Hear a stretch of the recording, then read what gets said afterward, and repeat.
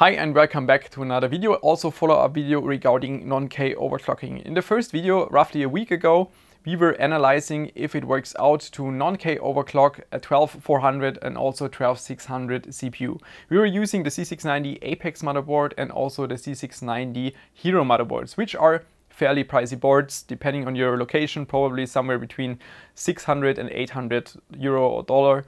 That is a lot. And then a lot of people were commenting that it doesn't make sense whatsoever because the mainboards are so expensive. And you are right, if it was only the Apex and Hero which would support this feature. But I have very good news. The ROG Strix B660G gaming Wi-Fi does support non-K overclocking. We will show in today's video how this works out. Currently in Germany this costs about 210 euro. It's not the cheapest B660 board around, but I think it's a very good combination with a 12400F or 12400, which costs about 170 to 200 euro here right now. This, those two in combination should form a very good system, especially because this board also has a good amount of feature and also good VRMs, which is something you typically don't have on uh, like 150 euro B660 motherboard. Then there is also the B660 F-Strix gaming Wi-Fi, which is full ATX size, should fit in probably all of the cases, same like this one because this is micro ATX. That is a bit more expensive, it's about 250 euro, while this is about 210. But both are still in a price range where I think it is very attractive to build a non-K overclocking system with either of those two boards. The only negative aspect is still that both are using DDR5. As far as I know right now there is no DDR4 board which can support it. That's a bit unfortunate, but as long as you somehow manage to find any DDR5 stick for a good price, then this should be still a very good thing. And also keep in mind that the DDR5 situation will get better from month to month. In like two or three months, it might be a lot better than it is right now. Sheik is also already waiting for our results, well, to see if the non-K overclocking will work on the B660G gaming Wi-Fi Strix board. I also mounted a box cooler, first of all, to check if it's working at all, because any cooler will work for that. And secondly, because last time we also noticed that the power consumption, even in the overclocked state during gaming, was typically between 50 and 60 watt. And a box cooler should be able to handle that. The process overclocking B660 non-K is a bit different than using the Z690 version because you don't have to enter the Tweakers Paradise. There is also no non-K unlock option, so it's a bit more difficult to figure out if your board will support it or not. Because if you just put in the CPU in the socket and you go to the Tweakers Paradise, it will not show up and you might first think that it's not supported.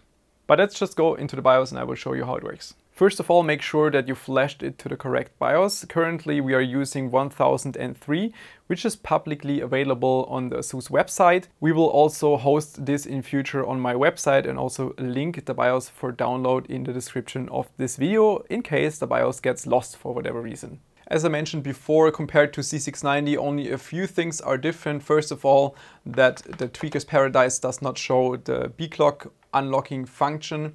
And also what I had to figure out for my system at least is that XMP will not work. No matter what I do, if I enable XMP and also if I lower the memory clock later, XMP will never work for me. But that could also be different for future BIOS versions. But just to get it working, we're starting with manual and we will also manually tune the memory later. We will aim for a 15% overclock that's why we're entering 115 megahertz B clock. The memory modules I'm using are 5200 C38 Corsair Vengeance. That's why we're looking for a memory clock that is very close to spec. 5212, that's almost um, even to the spec and we're setting the performance core ratio to sync all cores and the highest ratio available on the CPU, which is 40 for the 12400F and for the 12400. Now we also have to adjust the CPU cache frequency. We're starting with 36 and if we go back up, you will see the target CPU performance core speed. The CPU core speed across all the six cores will be 4.6 gigahertz, memory frequency 5.2, cache frequency around 4.1. For the cache frequency, you can easily usually get 4.2 to 4.4, but just for a basic profile, this should be sufficient because you would typically try to eliminate any kind of factors that could make it a little bit more complicated for the first boot. Now we have to set some of the voltages. We're setting the core voltage to 1.3 volt Also adjusting the memory voltage to 1.25. That will depend on your individual memory kit.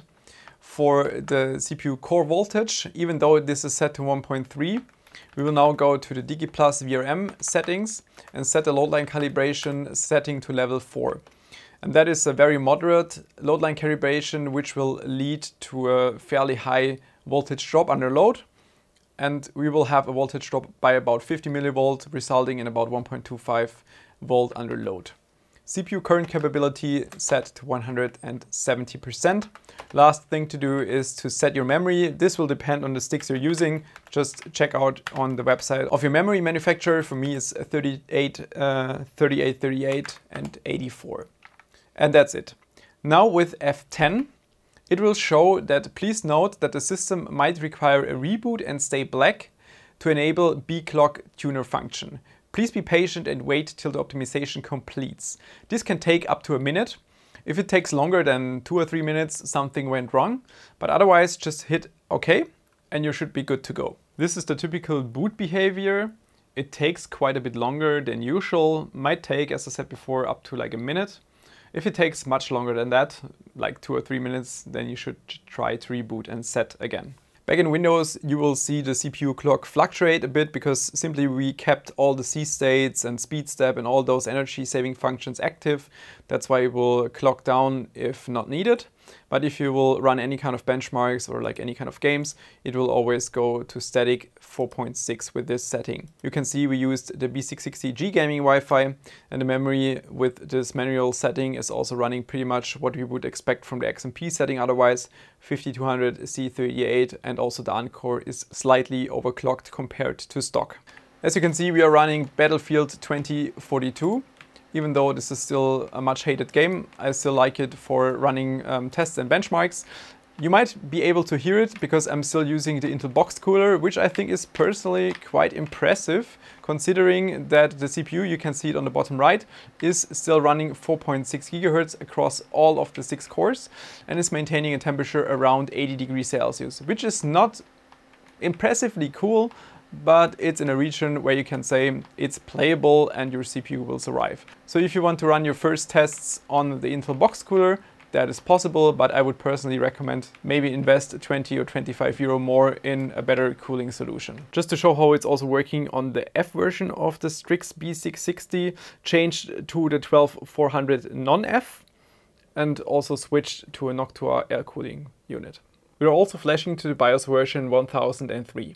Also here, very successful overclock, 5 GHz across all of the six cores using the B660F Gaming. Again, hit very well the mark of the XMP profile with 5200 C38. A bit more power also on the cache, almost 4.4. One more performance benchmark, even though we already completed this in the first video for the overclocked 12400, but I want to again show some temperature values and also power consumption values. Keep in mind that I'm using a rather high voltage just to give you a baseline what you should try to start with and then you can try to lower the voltage by like 20 or 25 millivolt in steps. Could be that the CPU is running like 50 millivolt more than it would require to run. You can see the package power draw is around 115 watt and again just to remind you that is the like the peak, the worst you can get. And in gaming, you should typically have something between 60 and 70 watt, which is a lot less. Score-wise, we're closing in on the 5800X, which you can see just below, and that is still very impressive. I also want to highlight that all the boards, CPUs and everything is hardware which I bought in retail stores, which means that is something you can absolutely expect at home. No like golden CPUs, like pre-bin stuff or anything just retail stuff. That is also very important and all the BIOS are also publicly available, nothing special, nothing hacked. What I also want to address is the entire debate with Intel will block this afterwards. It's very likely that they will maybe tell ASUS to take down this specific BIOS version or have like a newer BIOS update version where this is not possible anymore. But in that case, we all have already downloaded this. We can make this public on third-party servers, so that would be no issue whatsoever. And then people are still thinking that Intel, for some reason, can secretly inject a new microcode in their CPU blocking this, but that's not what's happening. That's also not what happened with Skylake, because that is still a huge myth out there, because those BIOSes were taken down afterwards at a certain point. But if you had your Skylake overclock applied, it would still work. There is one option what could theoretically happen is if Intel would apply a BIOS update or microcode update over Windows update. In that case, especially if you're running Windows 10, because that is a perfect platform to run on Windows 10. You don't have eCores, you don't need Windows 11.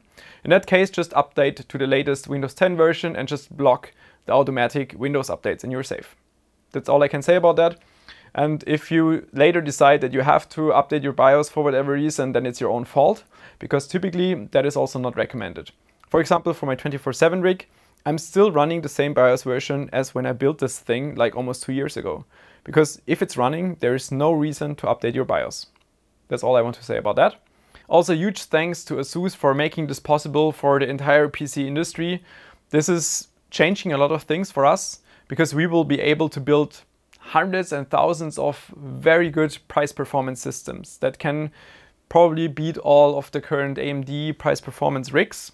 I think that's that's a huge game changer in the market. In the end, it's also positive for Intel, even though they would have never done that themselves. I'm not sure what they think about this, but they might not be happy, but I don't care. But thank you very much, ASUS, for helping the entire PC enthusiast community. It's an awesome thing what you did, and I think we should not forget about that.